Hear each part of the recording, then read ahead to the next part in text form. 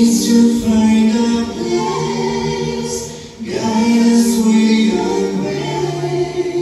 give us faith.